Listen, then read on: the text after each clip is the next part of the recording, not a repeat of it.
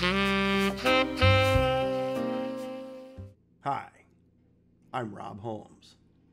Today's Monday, and the biggest news today is that Spike Lee's new trailer just dropped, and it's a doozy. Uh, the movie is called Da 5 Bloods. No, it's not about gangs in LA. It's a little bit overdone. Another topic that's been overdone, but I think is going to really be well, uh, well told by Spike because it's from an African American perspective, which is the Vietnam War.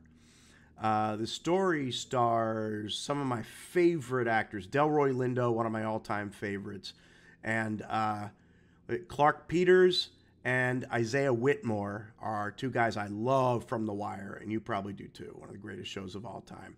They play Vietnam vets who go back to Vietnam to find some treasure that they buried back during the war. Anyway, the um, the movie is told a lot of it in flashback.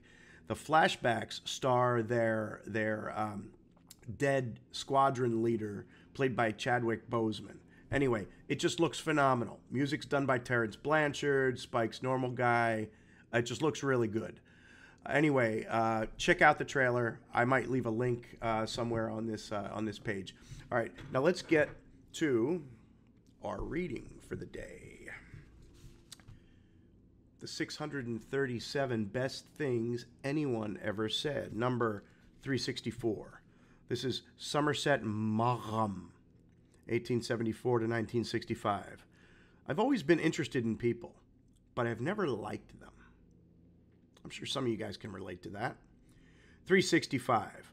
From the Goon Show. I don't know what the Goon Show is, not the Gong Show, the Goon Show. Are you going to come quietly? Or do I have to use earplugs? Bertrand Russell, who's always good for a uh, smart, introspective type of comment, and this is no exception. 366. One of the symptoms of an approaching nervous breakdown is the belief that one's work is terribly important. H. H. Munro, 367. A little inaccuracy sometimes saves a ton of explanation. A little inaccuracy sometimes saves a ton of explanation. If you can figure out what that means, write it in the bottom here because I'm not sure exactly if I pick that up, if you get my drift. 368, J.D. Salinger. We got a pair of J.D. Salingers here. Uh, 368, it's really hard to be roommates with people if your suitcases are much better than theirs. Oh, I get it. I have Louis Vuitton and you don't. Sorry, JD. 369. JD Salinger again. Take most people. They're crazy about cars. I'd rather have a goddamn horse. A horse is at least human, for God's sake. Yeah, you're the guy with the better luggage? On a horse? All right, all right. 370. This will be the last one for the day. Jean Paul Sartre. 1905 to 1980, 370. 3 o'clock is always too late or too early for anything you want to do. I'd say yes, except except at my favorite bar, Killer Shrimp. Happy hour starts at three o'clock sharp.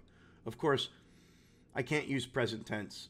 It started at three o'clock sharp. If they reopen, I'm I'm hoping that uh, that that still happens. Anyway, I love all you guys. I'm hoping you have a very nice Monday, and I'll see you tomorrow.